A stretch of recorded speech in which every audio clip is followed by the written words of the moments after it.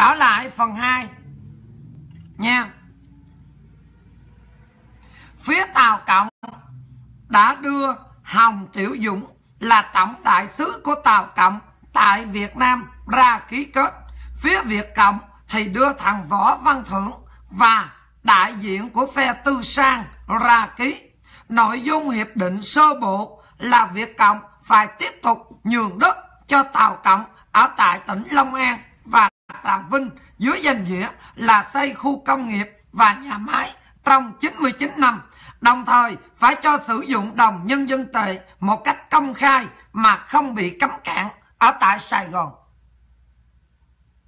Nó khốn nạn như vậy, các bạn thấy không? Đó. Khốn nạn. Đây là thằng Võ Văn Thưởng.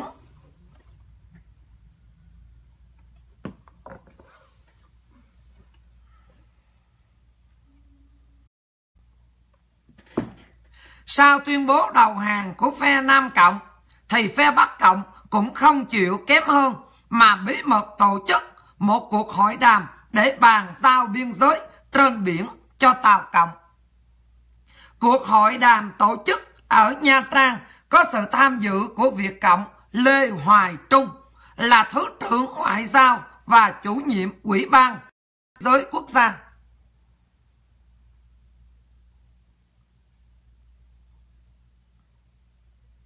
Và thuộc phe Bắc Cộng, phía Tàu Cộng thì cử Lưu Chứng Dân chỉ chỉ là Thứ trưởng Ngoại giao dự bị qua dự.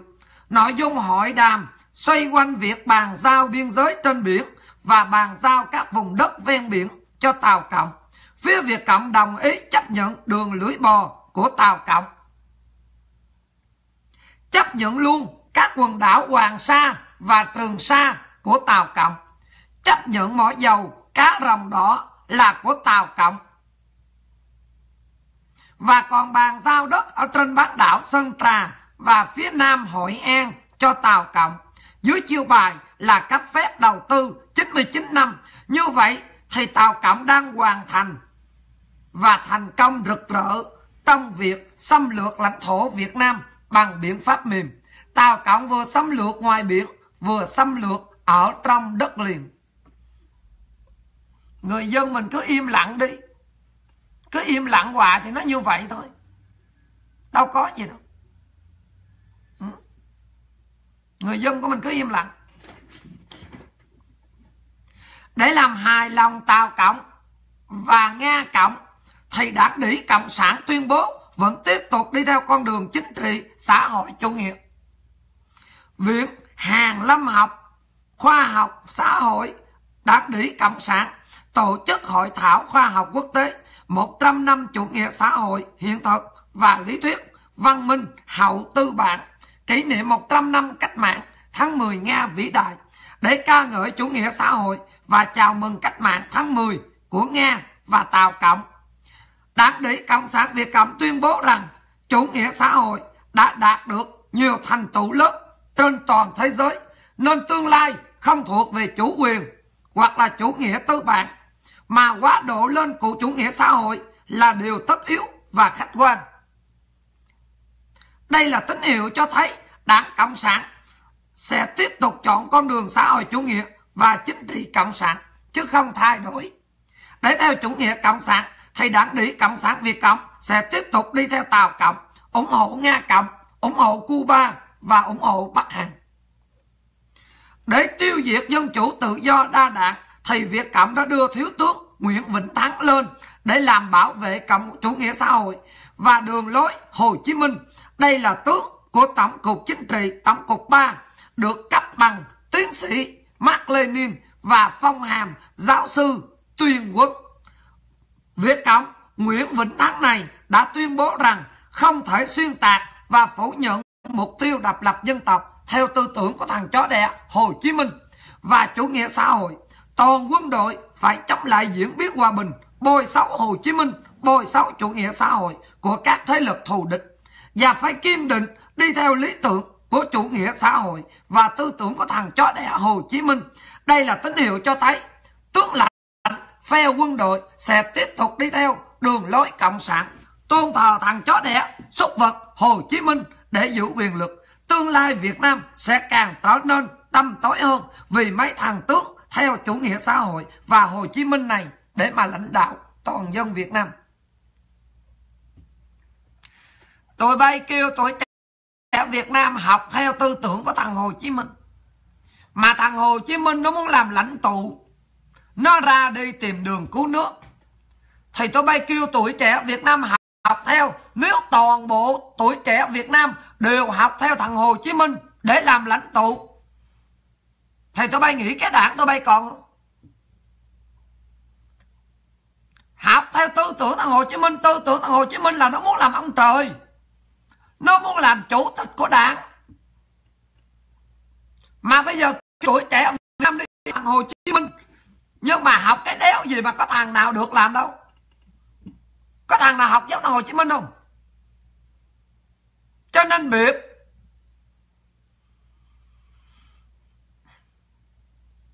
Các bạn thấy cái biệt nó nổi ra đó các bạn thấy cái biệt bộm nó nổi ra, đó.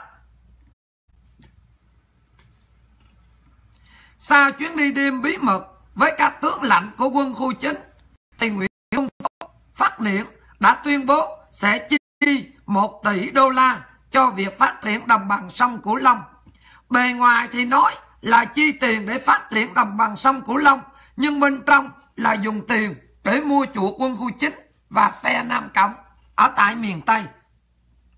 Mục đích là muốn chặt vây cánh và cô lập Ba Dũng, đồng thời tạo dựng lực lượng cho phe của Nguyễn Xuân Phúc ở tại miền Nam. Số tiền này sẽ rơi vào tay của Nam Cộng và quân khu chính, chứ không bao giờ được tới tay người dân. Tình hình miền Nam lúc này đang bị dao động, phân hóa, chia rẽ nghiêm trọng vì những lời dụ dỗ ngon ngọt của Thủ tướng Nguyễn Xuân Phúc. Nếu phe Ba Dũng không hành động, thì sẽ không còn đàn em và không còn quân khu chính bảo vệ nữa. Thằng chó đẻ này có nó như thế nào?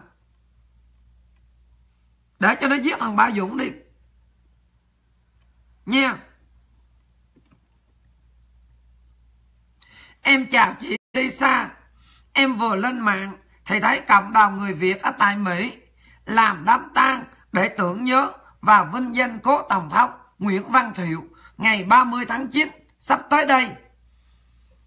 Xong em có coi lại video trên YouTube quay lại lúc Tổng thống về già. Lời nói của ông càng nghe càng thắp đượm tình, đồng bào và các chiến hữu quân nhân Việt Nam Cộng Hòa. Từng từ, từng chữ rõ ràng, dễ hiểu, không qua mỹ, lại rất thân thuộc vào dân tộc. Nghe tiếng thúc giục của ông, lần các chú, các bác, đi sĩ quan, người lính ngày xưa, thật sự em mới hiểu tại sao họ là dám hy sinh, bom đạn, quân thù, cộng sản bắt việt như vậy chị à những người sống trong chế độ cờ vàng, ba sọc là những người sống và chiến đấu có lý tưởng, cao đẹp cho sự hãnh diện của một quốc gia Việt Nam. Em gửi chị đoạn clip lúc cố Tổng thống về già nha chị. Ừ. Ừ. Chị cho hỏi đến 22 16 trái lựu đạn Em hy sinh một chơi hai chục đó chị Nó dẹp đường đi ăn cướp Một lần đi hai chục thằng chó đẻ thật Làm ăn lương thiện thì bị đàn áp, Cướp bóc ngoài đường nhớ nhơ Đéo làm gì Ừ Em cứ hành động đi. Đừng bao giờ nhắn tin cho chị nhiều. Những em nào chưa hành động cũng không nên nhắn tin, bởi vì đảng đi coi chừng. Nó bắt đầu nó sẽ vấn đề là chụp chụp.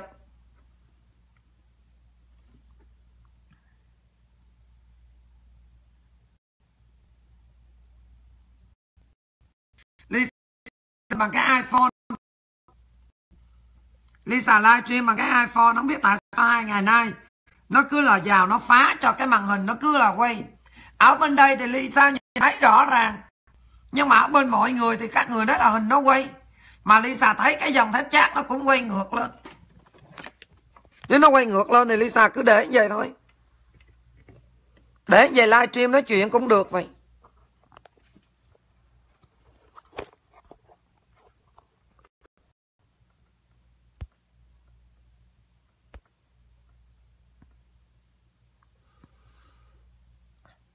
Để về thì livestream nói chuyện cũng được đâu đâu có sao đâu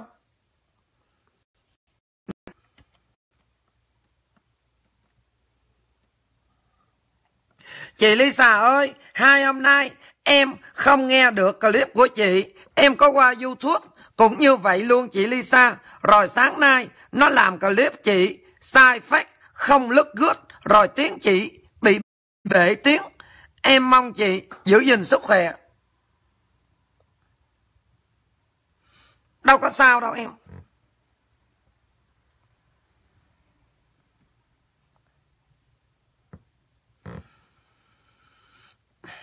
nó bắt khẩn cấp.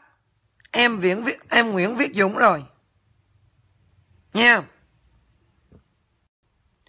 Bắt khẩn cấp đối tượng tuyên truyền chống nhà nước.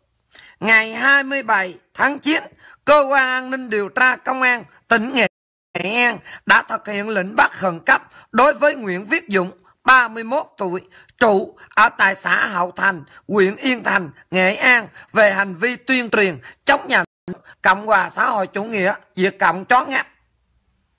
Các bạn thấy khốn nạn như vậy nữa Một cái đảng đỉ Một cái chế độ mất dạy nó như vậy nữa. Các bạn thấy không. Ừ. Lisa nói thật ở trong một cái đất nước, Ở với cái đảng đỉ Mà nó khốn nạn như vậy là chỉ có chết. Chỉ có chết mà thôi. Nha chỉ có chết mà thôi. Ừ.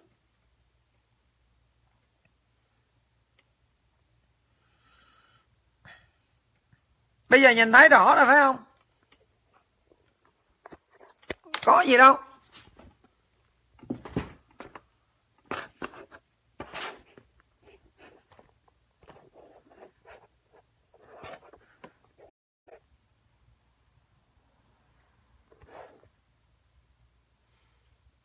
Thì ngày mai chị sẽ để lên vậy.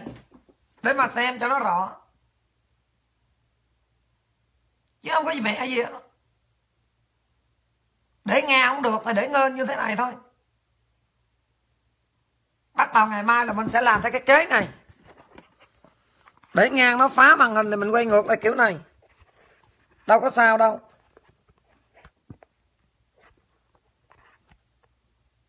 Đó. Để về cũng được đẹp vậy. Các bạn thấy rõ không? Nó cũng được vậy. Đâu có sao đâu. Cứ mỗi một lần mà tôi bay phá là Lisa có một cái kế khác. Cho nên ngày mai nó phá thì quay, quay ngược cái màn hình lại như vậy thôi. Không sao tại vì bữa kia Lisa để cái phone ngang còn bây giờ thì để cái phone dọc như vậy. Còn nó phá dọc thì chuyển lại ngang thôi. Không sao cả. Đường nào tao cũng đụng với tôi bay được.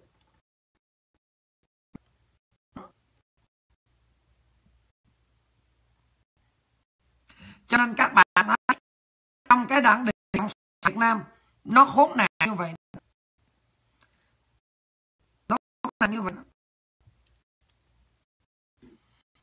Mọi người Việt Nam, Lisa nói thật, mình chỉ có hành động thôi. Không có làm gì được, chỉ có hành động thôi. Chỉ có hành động thôi chị ơi chị, Sài Gòn lại bơi ở trong mưa chị ơi Cơn mưa kéo dài 2 tiếng, lúc đầu giờ làm nhiều tuyến đường ở Sài Gòn nó bị ngập. Các bạn coi đi. Ở thiên đường xã hội chủ nghĩa nó vậy đó. Nó bị ngập nước vậy đó. Người dân Việt Nam thờ ơ lắm. Người dân Việt Nam cứ rất là thờ ơ. Đó.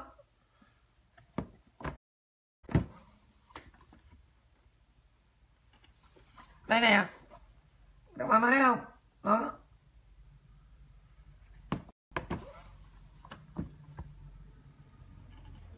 Bây giờ thấy rõ rồi, phải không? Bây giờ thấy màn hình đúng rồi, phải không? Ừ. đó.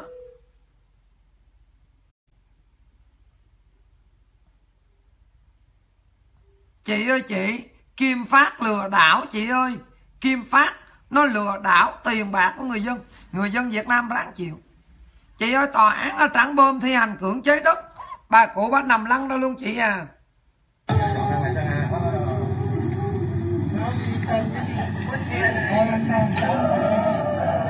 Đất cát ta để lại cho khóc vậy má đừng khóc nữa.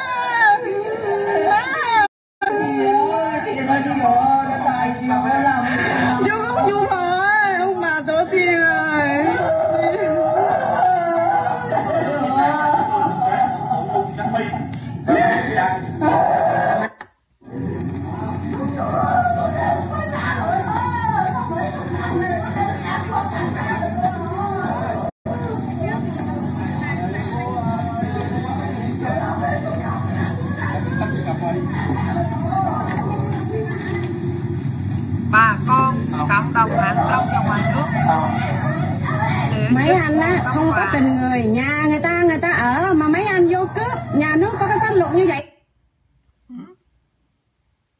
tình người đâu?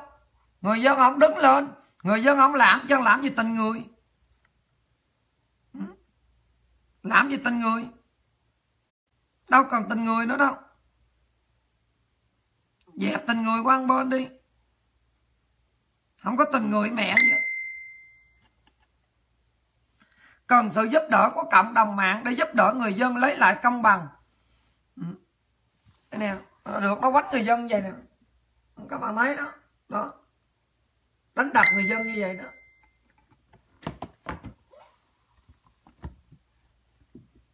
Đánh đập người dân như vậy đó.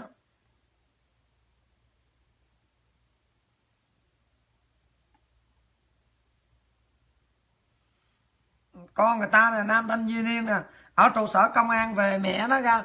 Nó đánh bầm dập ở trơn rồi, nó nói mẹ đi quýnh lộn chết. Đó, các bạn thấy không? Khốn nạn vậy đó đó bởi con người ở Việt Nam sống với cái được đảng điển này như là con kiến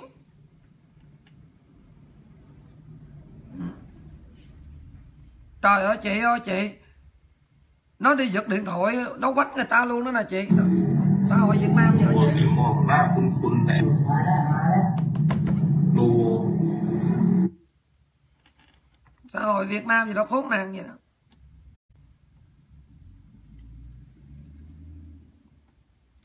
Chị ơi, chị. Hết giờ rồi, chị ơi. Ok. Bữa nay Lisa bị cảm. Lisa bị khang tiếng, các bạn thấy rồi đó. Tại vì Lisa mới uống thuốc vô. Cho nên nói chuyện nó hơi khang. Lisa nghĩ ngày mai nó ok. Rồi Lisa thì ưa bị khang tiếng lắm. Bởi mỗi một ngày gần cái chục cái cú phone gọi và nói chuyện từ sáng tới chiều. Rồi lớp tiếp khách hàng nữa. Cho nên Lisa bị khang tiếng cho nên Lisa hạn chế. Lisa không có nói chuyện với mọi người. Cho nên mọi người thông cảm nha. Để dành tiếng nói để Lisa lên chương trình. Thân ái chào quý vị và các bạn. Hẹn gặp lại quý vị và các bạn trong chương trình khai dân trí vào ngày mai. Bye bye.